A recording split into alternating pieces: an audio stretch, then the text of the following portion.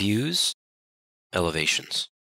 So to begin our discussion on elevations, let's go to the main floor plan. So just double click on main floor.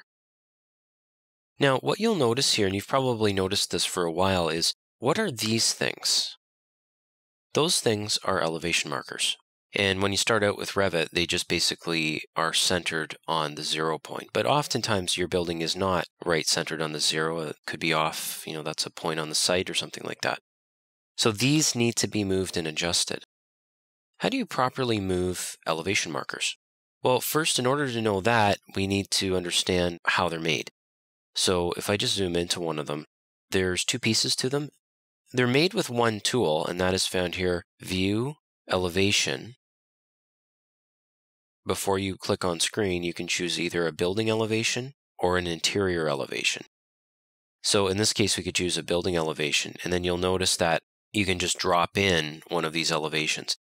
I'm not going to do it right now. I'm just going to hit escape. We already have the ones that are there. You can see that you drop them in as one object, but they're comprised of two pieces. So there's the bubble piece. So this is the piece that, if I just zoom into it, when you click on the big square here, that's the bubble, that's going to contain the sheet name. So when we drop this onto a sheet, that'll have its number right there, the sheet number. And then this will be the detail number right here. You can turn on other elevations and it will actually create, see that? It'll create or delete an elevation depending on which one you click on. I'll just click off of it now.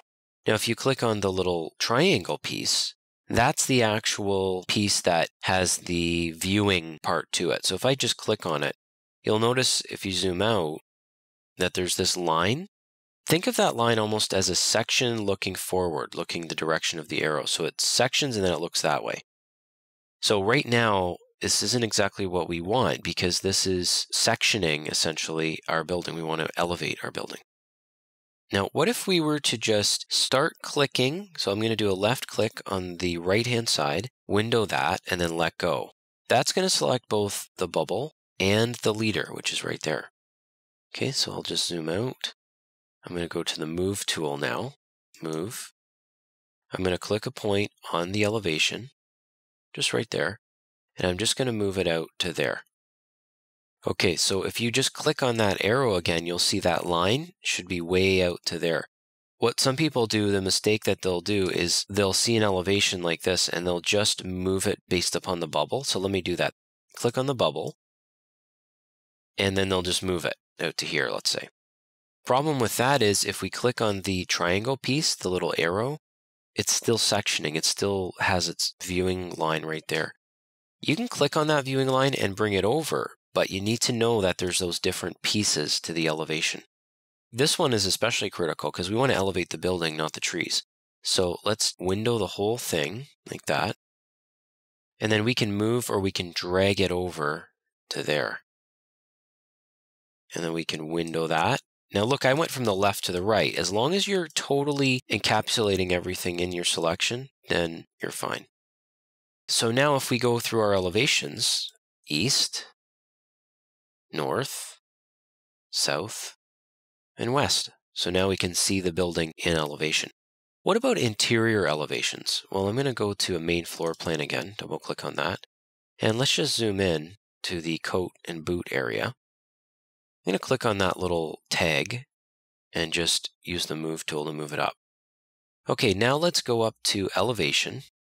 Then let's go over to here, which is the type selector. Let's choose interior elevation.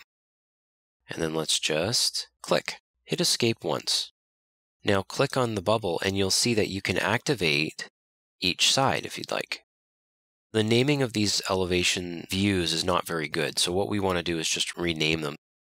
What I'll do is just click on that leader, that black piece right there. And then in the properties over here under view name, there's the property.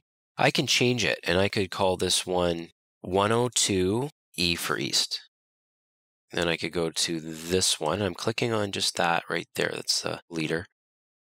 Okay, so that's 102 North. This one here. 102 West. And then that bottom one, 102 South.